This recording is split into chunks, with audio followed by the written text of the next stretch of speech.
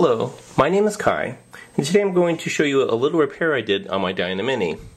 The problem I had was that the little silver knob on the shutter release lever had snapped off. I think probably uh, it got caught on something in my camera bag. I'm not sure what happened. But at any rate, what I was left with was a little nub of a shutter release that was kind of sharp and uncomfortable to trip. My solution was to take a little bit of epoxy putty and bond it to the end of the nub so that I had a full working shutter lever now. I'm not going to re-repair my camera, but I will show you the steps I took to uh, repair this. So the first thing I need was epoxy putty.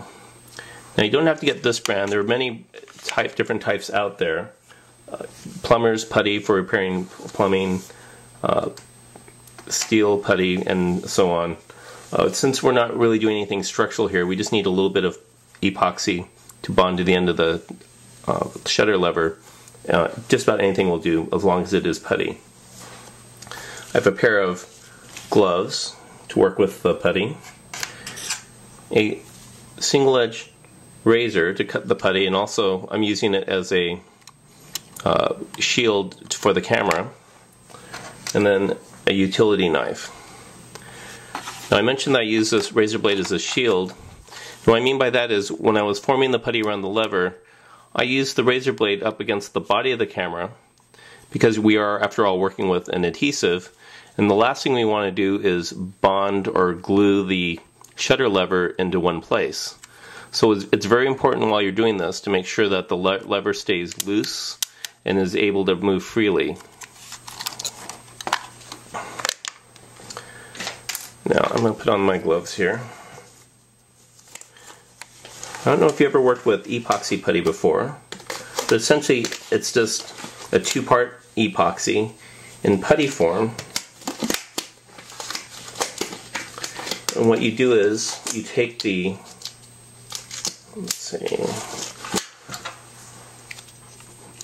the epoxy putty here, and then the knife. Now this epoxy putty is sealed in uh, plastic.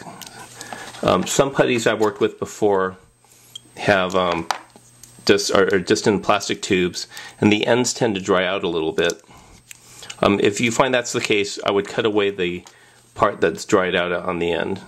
Um, here I'm just going to cut off an eighth of an inch and discard that. I don't know if you can see this putty, but there's a core, and then on the outer part is the second part of the epoxy.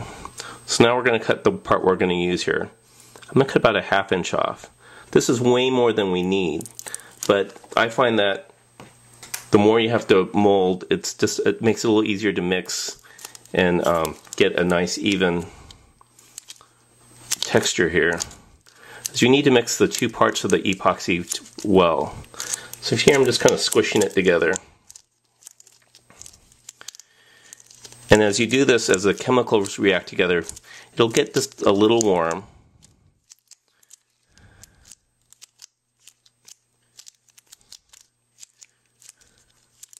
You want to get it into, you want to just keep kneading it.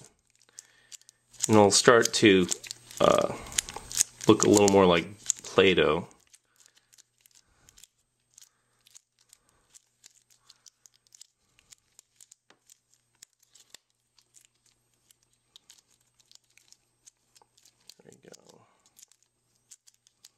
You can see why I'm using the gloves. Alright, I can feel it's getting a little warm. I'm getting a pretty good texture here.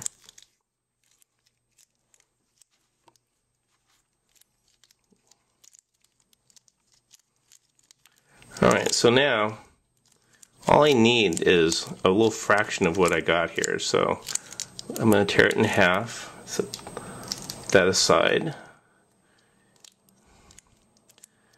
And then I even need less than that, so I'm going to take another half off of that.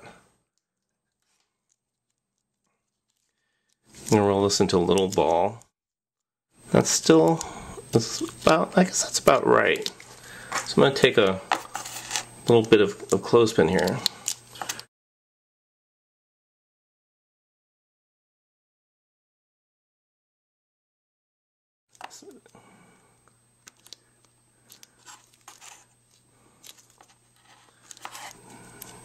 I can already tell that this is a little too much, so I'm going to pinch off, say, a third of that.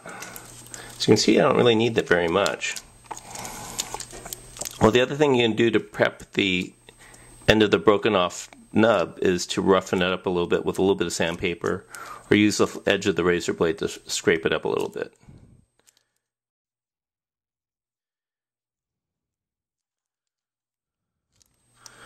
Okay, you can see I'm able to form this a little bit as it starts to set up a little bit.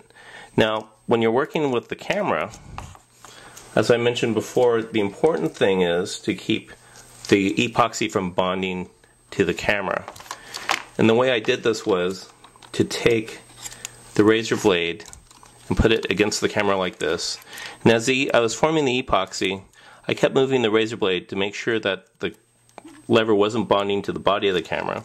And I was actually moving the lever up and down a little bit to make sure I wasn't bonding the barrel of the camera here.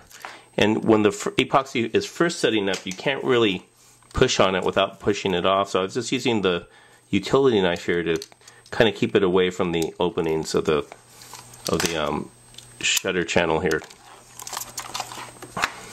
Let's see how we're doing here. Yes, that's starting to set up pretty well. So you kind of just take your fingers and kind of bend it into a little rectangular shape.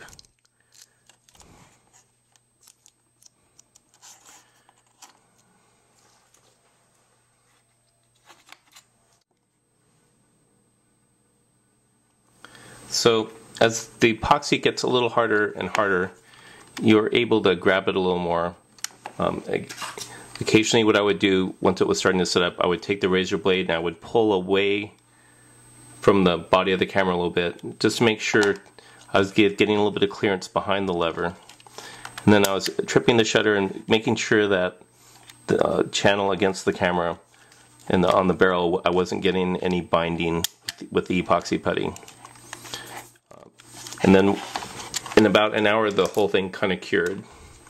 And that was how I repaired the shutter lever on my Diana Mini.